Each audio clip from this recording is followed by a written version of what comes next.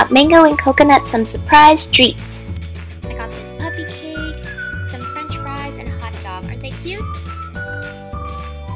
Here, baby! Want a french fry? You want a doggy french fry?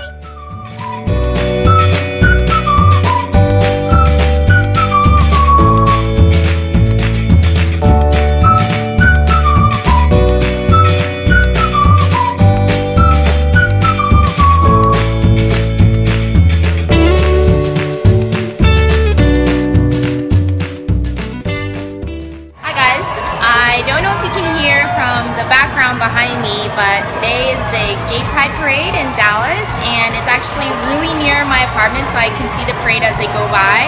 And I took the dogs out to enjoy and have a little fun, but just give you a quick glimpse as to what's going on. It's pretty crazy here, and there's lots and lots of people.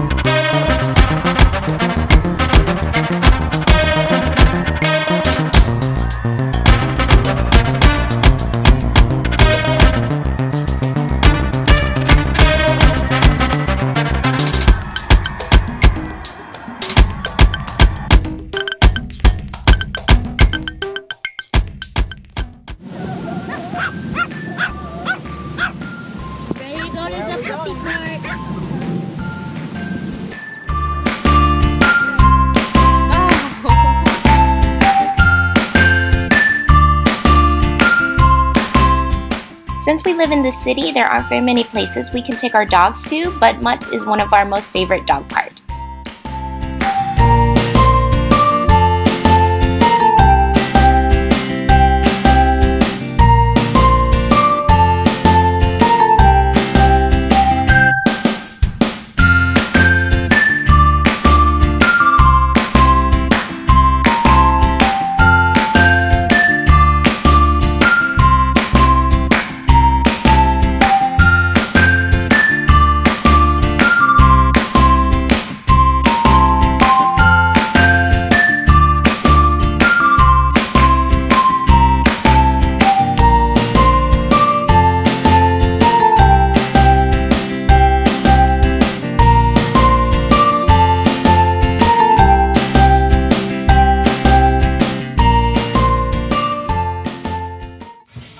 As you guys might already know, I am Chinese and we love to celebrate Chinese New Year's. I think it's a great tradition.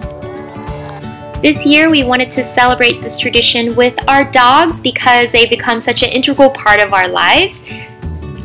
We not only took them out to see different lion dances and have a general Chinese cultural experience, but they also got a red envelope.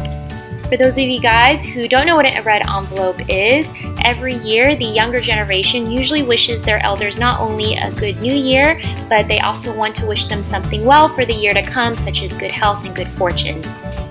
My parents also wanted to share this tradition with the dogs, so our dogs dressed up in their Chinese red clothes. As you can see, Mango's wearing her red dress, and they all got a little envelope of their own with a little bit of money for them to buy dog treats.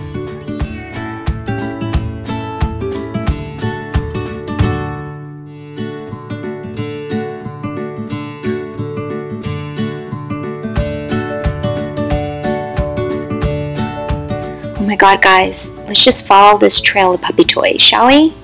Look at this. She's upside down. Is she a nut? I think she's a nut.